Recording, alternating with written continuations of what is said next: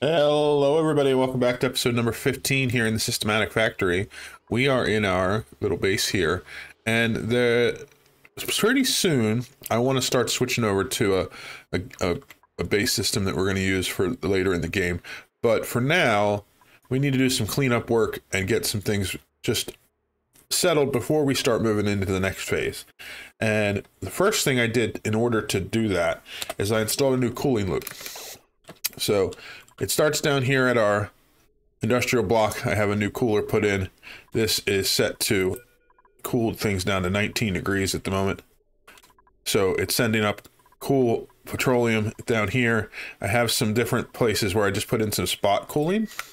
And so if you look, the tile insulated tiles underneath these hydroponic farms are very cold. So that uh, it's leaching some heat off of those. And there is a radiator pipe here that comes up right by where this vent is. So it's keeping that area cool. Same with both of the vents up here. But then I also ran a coolant loop up here through our oxygen. And this is going to take a long time to get it down to temperature because we've been pumping oxygen in here for a long time. But so the area is pretty warm, but we don't actually have a huge amount of back stock on oxygen, which is, um, I guess makes a lot of sense based on the fact that we um, have just been sending it directly out instead of accumulating it and sent and things like that. I'm not sure why our uh, take ups are actually picking up oxygen and sending it out. These should be providing enough oxygen to keep the line saturated, but it's working. I'm not going to mess with it. I'm trying to get these voles back to where they're supposed to be because I'm not ready to deal with them, but they they got off because I had this tile too close, so they jumped across and worked their way up. So I have this set for somebody to move them. Um, problem is, is that people get the the command to go do it, and then when they do, the vole has moved into a rock and moved somewhere unreachable, and so the command gets canceled, and it's kind of annoying. But it is okay. It will get done eventually. Um, we will deal with all these critters in here that I've just been kind of letting do their thing. Eventually, we're going to set up some more ranches, but we're going to let this cooling loop do its thing. And the next thing we're going to do, my, my end game goal for right now is to get up here and start working on a petroleum boiler. Um, I also want to tap into the rest of these volcanoes, uh, copying the design we did in the volcano tamer episode once I work out all the kinks. I'm actually, this one is going dormant. I'm shutting it down and I'm cooling off everything so that I can do some maintenance on it. Um, that's going to take a while too. But what we need to do before we get into petroleum is clean up our oil area down here. So I'm going to do a few things to do that. Uh, but the first thing I want to do is right now we have just carbon skimmers here clearing up the carbon dioxide, which is going to take probably another, I don't know, 30, 40 cycles to get through all of this carbon dioxide that built up, maybe less. But once it does, we're going to get all this chlorine built up down here and different things. I want to set up a ventilation system that pretty much collects all the extra gases that come down here and handles them. So we're going to do that first before we start going into here. And then that means we'll be able to get this place um, pumped out as well more efficiently and we can start doing some more work on that. This is pretty simple design here that I'm doing. I just did a filter for our gases and I have a pump down here all the way at the bottom that picks up gas and it pumps it into the filter. And I'm sure you've seen me use this filter many times. It's pretty much my go-to. But the specific reason that I'm using this type of filter is I can filter all kinds of different types of gases and it's uh, it doesn't require power for it to continue to cycle. So the the it does require power, which they're finishing up now, for the gas shutoff to turn on and off. And so it won't actually filter any gases without power, but the gases that are on the loop will continue to move even if the power goes out. So if something happens and I disrupt the power, I don't end up with gases going to the wrong places, which is what I want for here. The other thing that means is that if this get this pump picks up gases that it doesn't know what to do with, they're just going to sit here on this loop, and I'll have to keep keep an eye out for it so that I can add another filter to handle it. But whatever gas goes on, it will just continue to loop until it finds a home, or it will stay on the loop. So the first one I put on is I just did carbon dioxide because that's what we're dealing with at the moment. And also because I already have a carbon dioxide line here, so it was easy to just put on that filter and then connect it to the line going in and send it off to our carbon dioxide storage down here. I did redesign this a little bit uh, with the, I put the gas vents underneath blocks, all four of them with a space in between. Uh, so I have like two vents with a space in between, both covered with a block. And then I repeated that. And what that means that the liquid here is always going to stay covering the vent even no matter if it's a little tiny bit or uh, the maximum amount because this liquid does fluctuate and then this one will always stay open like it is so that it's never going to go over the point where it blocks it prevents them from giving the overpressure message periodically which means these pipes can just run full bore in here which is good because i have a highway of carbon dioxide coming from our power plant the next step i want to do is uh, if you look at our gases we have um, a little bit of oxygen that uh, is coming out of these, but it's not a big deal. And I'm actually going to remove those. The next thing we have is some polluted oxygen, tiny bits, but mostly if we go up, we're going to hit this chlorine patch once it gets all this carbon dioxide out. So I want to set up a space for chlorine. In the past, I had done the chlorine storage here, and that was just a temporary me measure, and it's limited, you know, it's very small. I just want to have a place where I can dump chlorine and forget about it and have pumps to pull it out if I need to use it later on. So what I'm going to do, and I've already set it up to kind of do this, is I'm going to mirror this storage over on the other side here and have it be for chlorine. This area down here is finished being built. I'm using the gas pumps that will are in here for me to pump out chlorine later to empty the carbon dioxide that's in the room before I start storing chlorine in it. Um, this room did not need to be as big as it is. I'm not gonna, I'm, I don't have to have four inputs for chlorine. I definitely wouldn't need two pumps to get it out because chlorine I'm just going to use in small amounts. At some point in the future, I could have just used any a small, a much smaller room, but I kind of like the way it looks where it's balanced uh, across here, and the ladder comes up where they can service both of them right underneath this uh, mesh tile, which is there specifically to let the air flow up here to get to this pump. Oh, I have to finish filling this back in because there are some gases collecting up there. Um,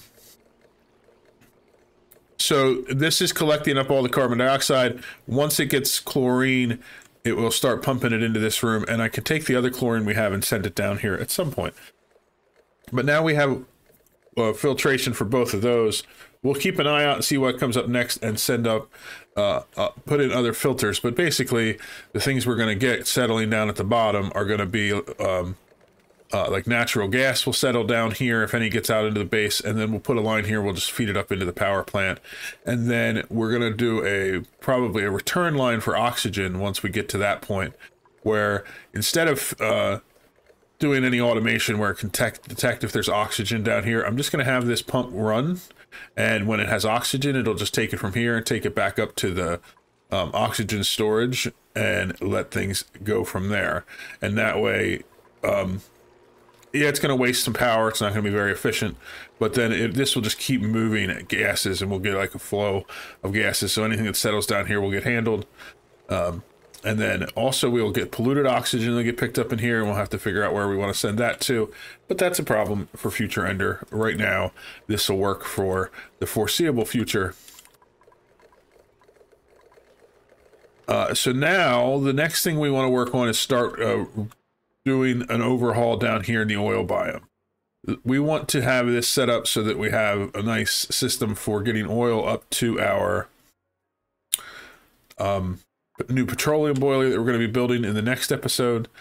And this would work fine. This is producing uh, 10 kilograms of oil per second with the water coming in.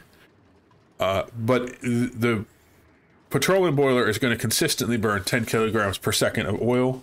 So these three pumps are going to be the supply for that. So what I want to do is I'm going to redesign this so that these are all contained in one uh, closed system. And that way I don't need to worry about having a big pool of oil and I can collect it all in this room and automate shut off based on if I get an overfill of oil when the petroleum boiler isn't running. And then I can empty this room of, of oil so that we can start cleaning it up and then getting down into the magma biome beneath it without having a risk of oil being here that will flash to petroleum and then sour gas with the extreme heats we have down here. When we do get into working with the magma, that's when I'm going to get into the Biobot Builder because I think that will be a, a, a, fun project to be able to do work down here without risking any duplicants because we can send the Biobots down to do the things. But first, we want to get this set up so that we have that. I also want to just work my way across and finish getting in here and digging everything up and clearing this out because there's a lot of oil wells in here. I, I may not tap into them for a while, but I just want to get everything cleaned up. And I'm also starting work on closing this off. I'm going to collect as much of this uh, liquid as I can over to the side here, and I'm going to connect it up to this this pool so that I can just put one pump down here to collect all of that out, and then this will all be open to me to use for this area down here. So I'm going to do a bunch of work on that and getting this moved over here first, and then we'll work on this project together. Forgot to show you the best feature of the way I have these infinite gas vents set up.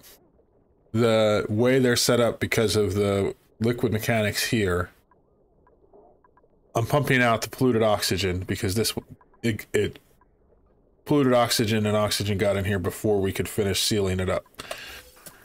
So if you look, there's some polluted oxygen coming through this pipe. Let's look at the gas overlay. See if I can slow it down so that we can actually catch it happening. So polluted oxygen comes out into this vent. And what it does is it displaces the liquid to either side because polluted oxygen has nowhere to go. Because when carbon dioxide comes in, it doesn't displace all the all the liquid because it automatically gets pushed diagonally into this tile. Polluted oxygen can't, and so it goes here. It can't go here, but the liquid wants its spot back basically, and it overrides that gas and deletes it. So when there's small amounts of gas being pumped in that are the wrong kind, they just get deleted automatically. And so I don't need to worry about gases getting built up in here if I accidentally pump gas in from the wrong way. And especially in the carbon dioxide one, that's important because up here, this is all carbon dioxide and it's set to only pump out over 2000 kilograms. And the reason for that is that the polluted oxygen then can't off gas. But if for some reason the carbon dioxide dips and it allows this to off gas, and we were to get polluted oxygen in this room and it get picked up by the intake line for the carbon dioxide, it would be a small amount. And when it got down here, it would just get deleted. So I don't have to worry about gases building up at the top of my uh, infinite gas room anymore with this setup. It won't work if you send a huge packet, like if you were to just do a line where it was a thousand gram, uh, grams of carbon dioxide and then a thousand grams of polluted oxygen. I think that might break it because it would put, it would displace this liquid and then get up into the system. But for our purposes, it works great. And so this is almost done getting all the gases out of this room and it'll be ready for the chlorine. Again, I don't have to worry about chlorine for a while because it's got to get through all of this carbon dioxide before it gets to it. I did take out the carbon skimmers because they were just deleting carbon dioxide giving me polluted water. I don't really need the polluted water. I have ways to get more now. And the um, carbon dioxide is just getting picked up here. So in due course, all of this will get uh, put into the pump and handled down here. Our filter is still doing fine. It just has carbon dioxide in it, so we don't need to worry about that yet. Always hitting the wrong key and hitting F instead of D, so the food pops up. Over here, what I'm working on is I'm just putting in some uh, ladders so that we can get up to do piping. Actually, I don't need the ladders up top. I just realized because they can do the piping from above. So that's good. I don't need any of this either.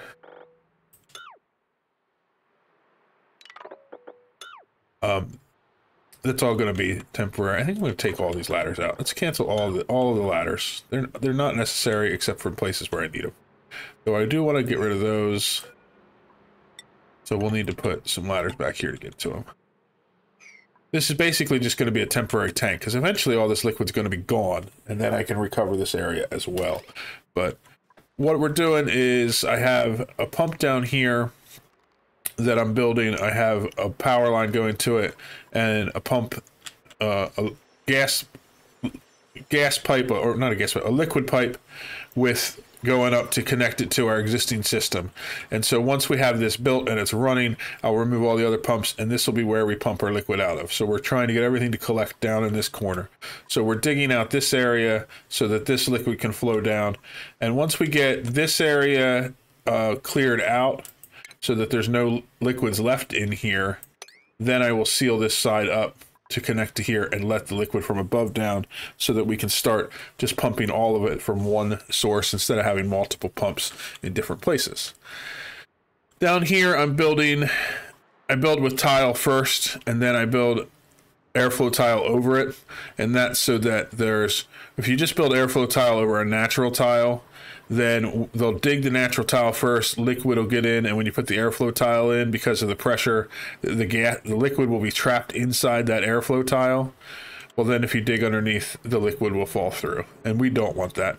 So we built tiles so that when we put the airflow tiles over, in theory, they will um, overwrite that tile with in place, and no liquid will transfer it's unreachable because they're still digging down here. That's fine. They need to dig all this out before they can get to the rest of the building, but they're working on it and getting all of everything in place. And we'll put airflow tiles all the way up through here to there. So what we need to do is to do a row of these tiles like this because again, I don't want to replace airflow tiles over natural tiles because of that work and then we'll dig this out. And then that means this liquid can flow down here into here. And like I said, once we get all of this liquid pumped out to the point where it's down below here, then I will finish building this wall up and we'll drop the liquid down. And then that way, all of this area it will be free for us to dig out and start building some things. I completed the pit. We're collecting all of our water down here. This is all built off so that nothing can break through. And I'm removing this section here so that it can all merge together in one pit, letting some of this water spill down here, which will lower it enough that I can work on this volcano in a little while. Um, I did have this little section of salt water and mixed gas, mixed liquids in here. So I built this wall down, I put a pump in, and I am building a pipe up here to a vent so that we can pump it up into this pit because I didn't want to wait for it to empty out. I wanted to get it done so we can keep going. We'll start clearing everything else out and save this little section for last. Once all the uh, waters have been pumped out, we'll clean it up and get rid of it. It also seals off this room from the gas out here that was going through this airflow tile, which means that this pump that's here collecting gases for us will um, slowly empty this room of all the gases. It's been doing a pretty good job of it. We just have more coming in, so it, was, it could never finish it, but we'll get it all emptied out. I think that actually I should now connect this up to our filter here. That would probably be a pretty good idea because then it can just go in with that without having this filter here that we were using. So I'm going to do that. I'll put in, I'll have to put in some more bridges to get it across to do it. But we'll, we'll get it done. And then we can have just the one filter here running instead of using this one. I don't think that there's... We'll have to deal with the polluted oxygen, but we had to deal with that soon anyway, so that's no problem. What's going on here? It's interesting.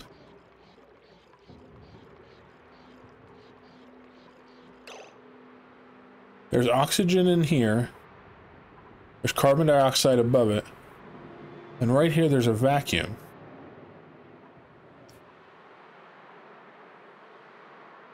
I wonder if that's because the liquids are trying to merge with each other through there. I'm going to have to mess around with that and see if it's a pressure thing or what. That could be a really interesting thing to exploit. Anyway, um, as you can see, this is pumping out. It's getting liquids up here. And we can now work down here as everything gets emptied out where we want it to go. Still working on getting this area uh, cleaned up, but we did get all this uh, water moved over into the big pit. So we can, I took this pump out, we can clean this up too. Uh, we've been digging down here just to clear everything out and make some space. And the gases have been getting handled pretty good.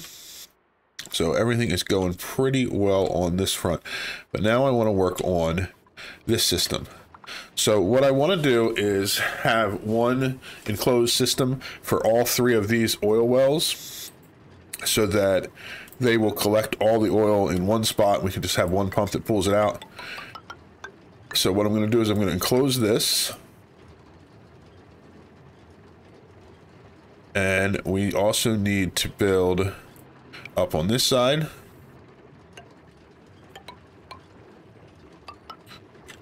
And then I'm, what I want to have is a way to get into here that is sealed. So let's see, how do we want to do that? I want to put a ladder down. Let's have the ladder come right against this wall. And then I'm going to have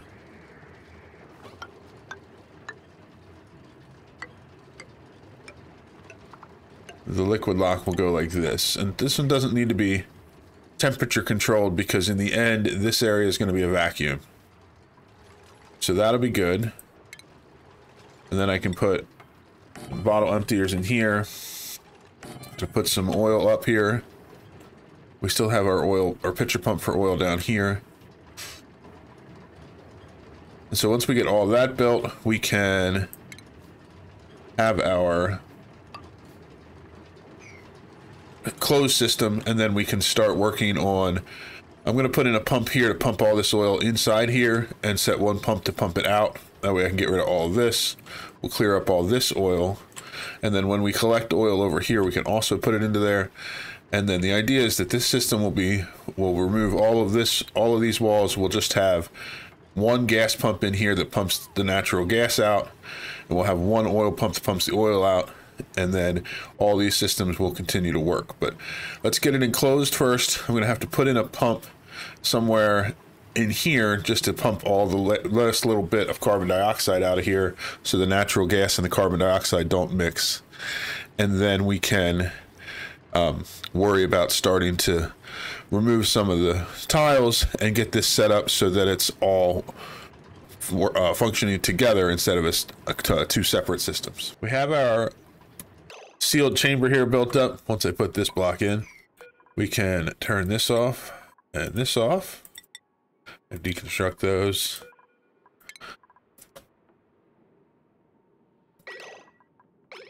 And so once that block's in, this room will be sealed and we have this pump is pumping directly into our carbon dioxide storage because all the gas in here is carbon dioxide. I don't need to worry about a filter of any kind.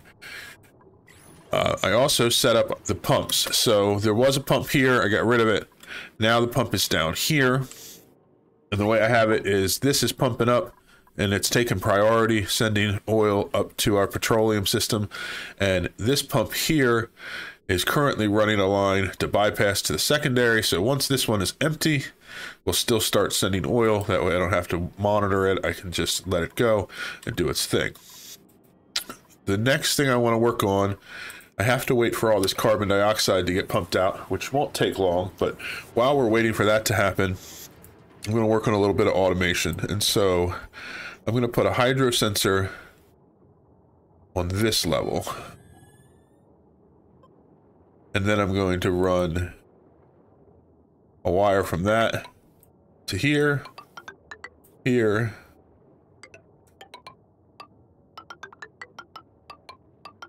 and to here.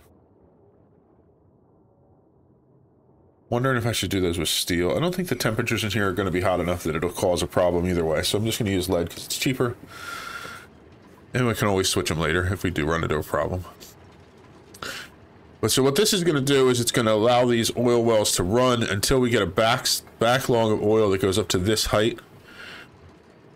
I might change where that's located in the future, but when we start working on moving the removing the walls to allow all the natural gas out the one thing we do need to take into consideration is that any of these radiant liquid pipes need to be submerged in oil if any of these don't have oil around them so like this one has that spot there and then these have the little tiny bit that's above here because it, it can't go below that because of this if any of them are exposed the natural gas comes out hot enough that it boils the water in the pipe and then it cracks and then I get steam and then I get water in my oil. I do not want. So I do want to move this in to here because I don't need it to be as long. So the first thing we need to do is to change this pipe up. I'm thinking I might actually, let's see. Now let's just keep it with the radiant pipes. I'm actually going to, or insulated pipes. I'm going to use some ceramic in here. I have plenty of it. I don't think it's necessary, but I'd rather not find out if it is. And so I'm going to go all the way to here with insulated pipe. I think that that'll be plenty. Why did these stop? Oh, disabled by automation grid. Once the hydro sensor gets put in, it will be fine so basically what I'm going to do is I'm going to bring the insulated tile up to here. This one will be like this one where it fills up to above the radiant pipes and then it spills over. And then I'll take this wall out. This one will spill out on both sides. And this I can remove. It'll all come down to here. And uh, this one I can just take the roof off. And then all of these will fill up oil to here.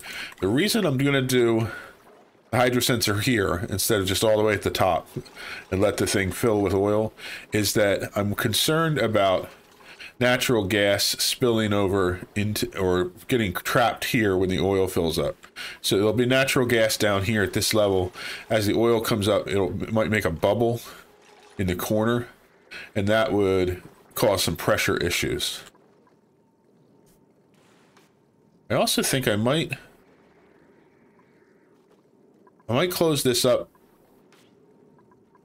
right here and just make a wall like this. And then that way this oil well will just fill up to this point and they'll both spill over. Because then that way this can fill up a little higher too. Yeah, let's do that. But okay, so we just need to get these last few things put in. The main thing is I need to wait for all this carbon dioxide to come out before I crack these open. Because like I said, I do not want to have these um, gases mixing so it's just going to take a few more uh, cycles to get all of this carbon dioxide pumped out and put into storage. And we can continue to get this oil pumped out down here.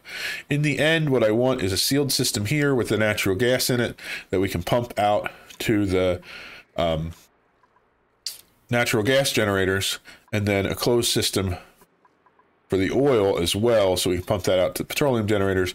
And outside here, I want it to be a vacuum and no oil down here because I want to work on doing some things where I get into the magma.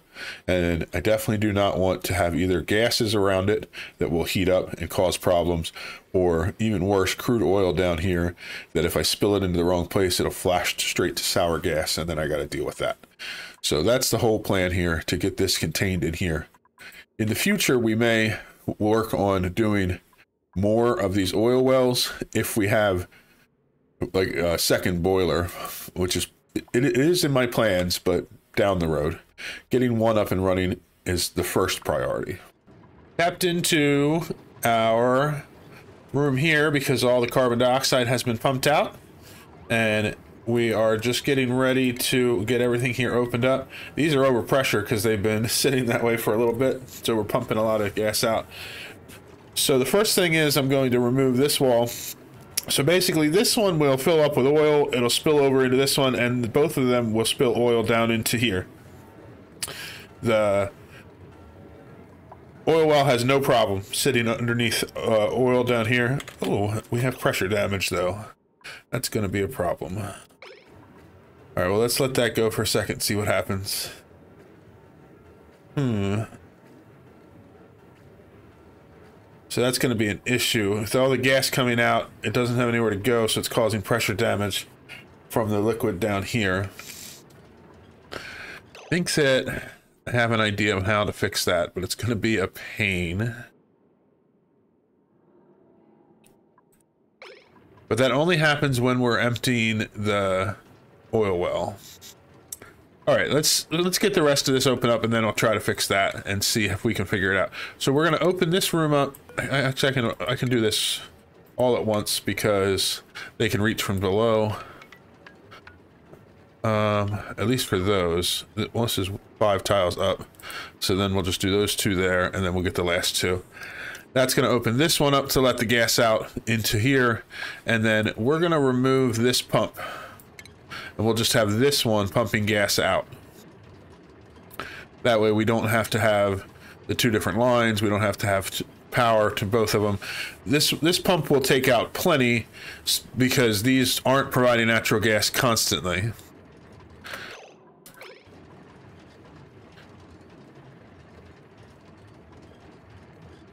Okay, good. They're going to be able to reach all that and get those last couple. Then let's do these two. And we can do, these we can all reach from the ladders. Perfect. And then what we can do is we can extend this ladder all the way down to the floor. To make sure that's out of granite. That'll be fine. So as far as this goes, what I'm thinking is I'll do another row of insulated tiles underneath. And then I'll get down in here and I'm going to replace these tiles with airflow tiles. And then it'll open up to here. It'll let natural gas in there. And so we'll have some um, spacing between the liquid and the wall. And I think probably I don't know that we'll have pressure damage on the sides, but for aesthetic reasons, I think we should do that all the way up the wall, just to make it balanced. And then let's do it the whole way around the bottom as well, because it'll look, I just think it'll look better. Sometimes I worry about efficiency, sometimes I worry about um, aesthetics. Sometimes I try to balance it.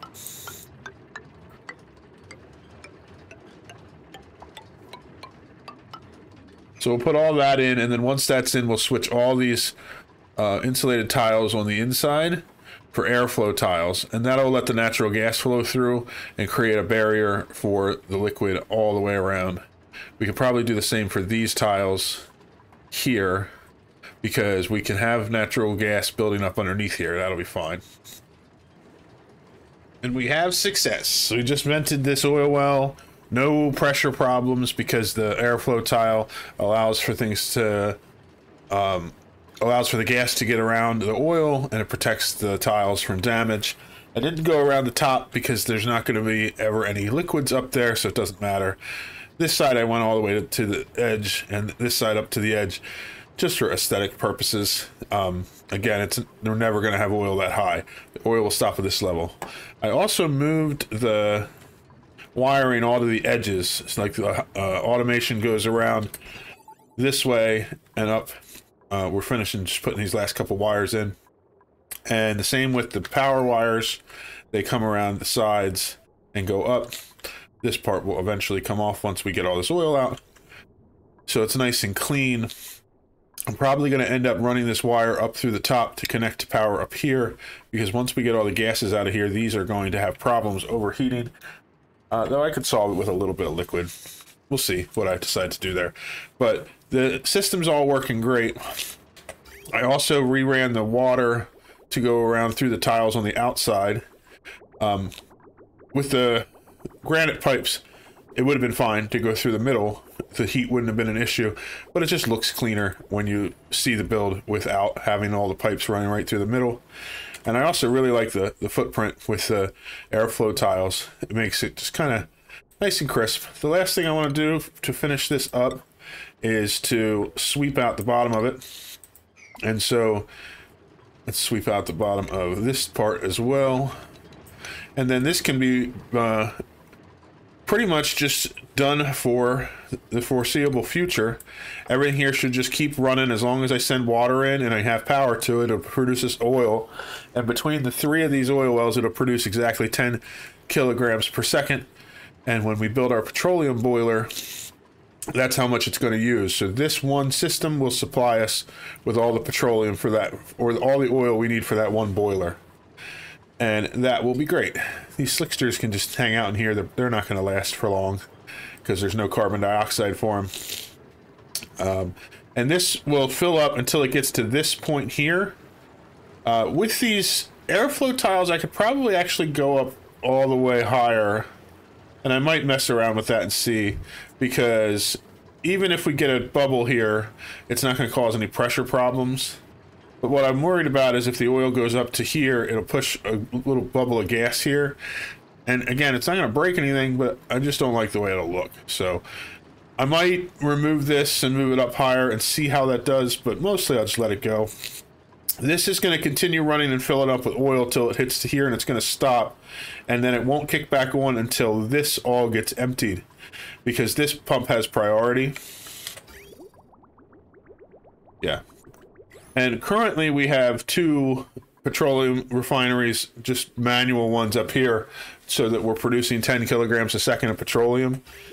But it's very inefficient because we have to wait for duplicants to run it, and each of these only produces half the petroleum that you make with oil.